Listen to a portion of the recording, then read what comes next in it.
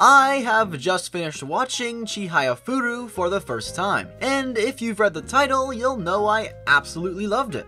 Before watching this, I was experiencing a sort of drought with anime. Nothing was really catching my attention, and when it did, it was either seasonal or it was a rewatch of something I knew I enjoyed, like Gintama or Land of the Lustrous. Now that I'm thinking about it, the last show I watched that wasn't either of those was back at the start of 2020 with Quintessential Quintuplets, so it's been a long time since I've just sat down and binged something. That was until I watched Sungwon's top 5 anime video, where he had Chihayafuru on his number one spot. This got me curious, since I've always seen it while browsing and the art style appeared really appealing, but for whatever reason I've never checked it out. Now, fast forward 21 days, and I suppose his passion for the show shined all the way through to me. Because not only did I start watching, but I completed the entire thing in said 21 days. I can hear the comments now.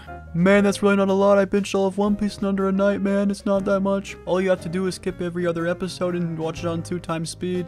It's a lot for me, okay? Like I said, this is the first anime I've seen in a long while where I was genuinely excited for every next episode. Anyway, though, that's enough with my overly extended intro. Let's jump into why I love Chihayafuru.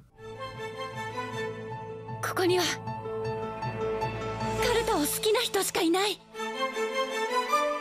Starting off, I'll delve into the actual premise of the show, which is entirely based around a relatively niche game in Japan called Karuta. I don't want this video to be an audio rulebook though, so let's try to keep this short. Karuta, to be extremely brief, is based around memory and reflexes. There are 50 cards, each with the second parts of a poem laid out in front of two players. A reader is tasked with, well, reading out the poems corresponding to the cards in the match. Whoever touches the corresponding poem first can take that card off the field. Basically, when the first verse of the poem is read, you grab the second verse. They continue this all the way until one side is left with zero cards. That is our winner. Are you following so far? Well, uh, if you're not, you can pause here.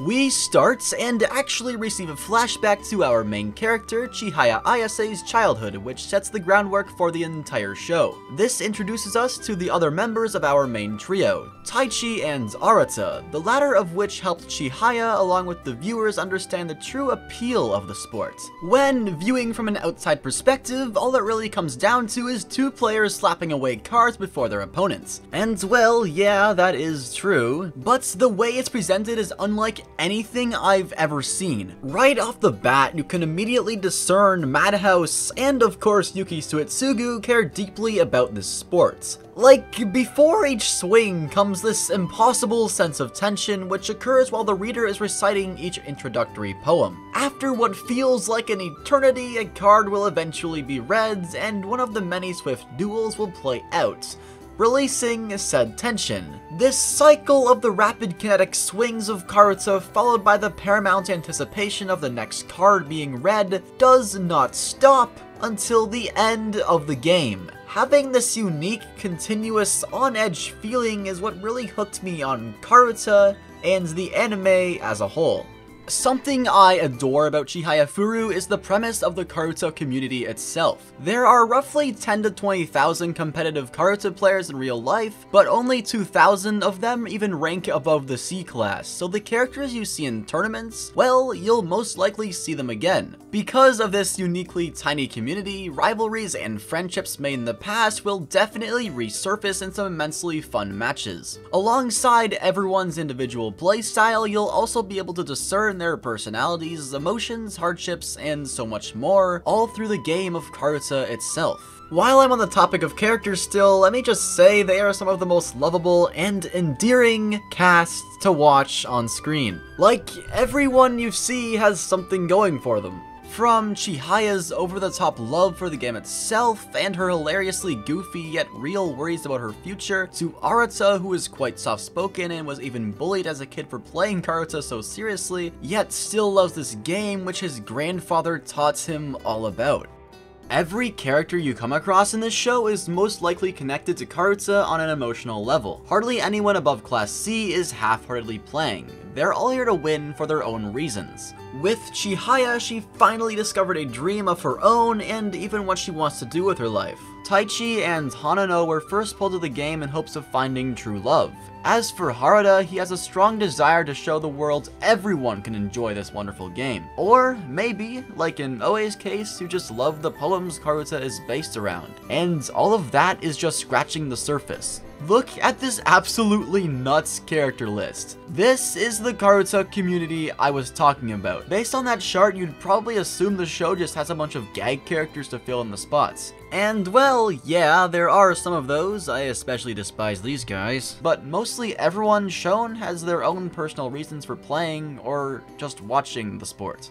Oh, yeah, I should mention that. You're probably wondering why I keep calling it a sports, because from what I'm showing and telling you, it really does seem like just a card game, right? And yeah, it is, but it's a card game that has evolved into something greater. They've started to call it a sports in Japan because of the crazy amount of memory and agility you require when playing at high skill levels, and truthfully, that's no joke. Most of the time when playing Karuta in a ranked format, you'll be playing tournaments. And you know what that means? Consecutive stressful matches, one after the other. You will have to memorize 50 card placements, wipe that from your memory when the game is done, and memorize 50 new placements. Let's not forget that while your brain's working overtime with the memorization, your reflexes will also have to be pushed all the way to the limits. I'm convinced the very small number of players who have actually made it to rank A in real life are actual superhumans. Like I said earlier, when competitive Karuta is being played, it will probably be in a tournament, which means the action will hardly ever stop.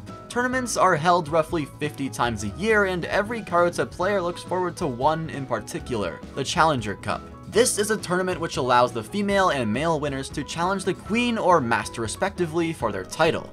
Defeating the queen has been our main character's goal ever since she found out about the competitive scene. To be the best in the world at something is a thought a younger Chihaya never would have imagined she could achieve. And, well,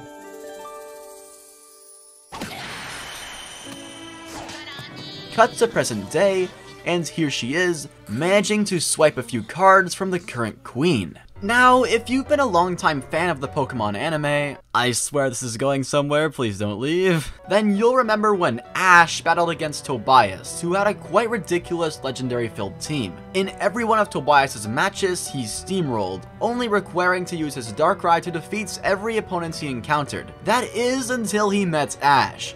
Ash comes in and manages to unbelievably faint his powerhouse of a Darkrai, which made me bounce off the walls with excitement when I first witnessed that. Now, there was obviously no way Ash was going to win that battle, but damn did he look good losing. That is the exact feeling I was experiencing while watching Shinobu actually lose a few cards to Chihaya. My excitement was immeasurable, and Chihayafuru managed to bring that childlike exhilaration back to me. And I think that's pretty damn awesome. As people age, our ability to hear higher pitches dwindles over time. This means you'll see a much larger variety of younger players in the higher ranks, which makes Harada's journey all the more hard to watch, yet still incredibly inspiring. Alright, so following this is a small spoiler section, so jump to this timecode on screen if you don't want to be spoiled.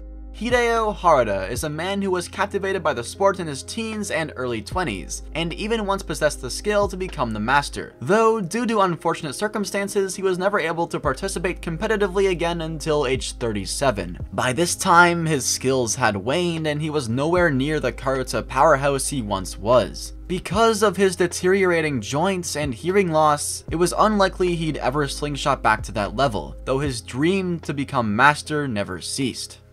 But wait! Flash forward 13 years later and his passion is now burning hotter than ever in a challenger tournament. With the power of a grizzly bear he defeats every single one of his opponents one by one. But every match taxes him more than the last, yet his determination stays unwavering. Eventually, he's matched up against Arata, his final hurdle before challenging the throne. Throughout the match, his mind is racing yet focused, and not just because he desires to become the master. No, Harada is also here to prove it's never too late to pursue the things you unabashedly love and achieve your dreams. His perseverance pushes him past his limits and he defeats the grandson of the former Eternal Master, and now only one thing stands in his way. Current Master Hisashi Suo.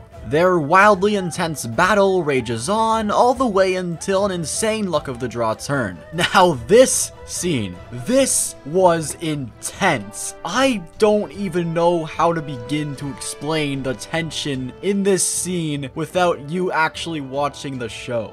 But through all the waiting, through all the waiting and anticipation, unfortunately, Harada still loses and Suo retains his title of Master. That's okay though, Harada's love for Karuta and his inspirational message he portrayed while playing to his absolute limits struck me, along with the hearts of everyone watching. I love this anime, not only because of everything I just mentioned, but because this show actually aided in Karuta's current popularity. I know this because Crunchyroll did this awesome post-anime interview with the producer and director, which showed a lot about how the anime was made, and even gave us some insight on their realizations about Karuta. At one of the tournaments they visited, a player lost and just collapsed while crying, which drove home to the creators of Chihayafuru how truly important this game really is. This really reinforced the fact that they needed to create something special for this sport. And oh man, did they ever.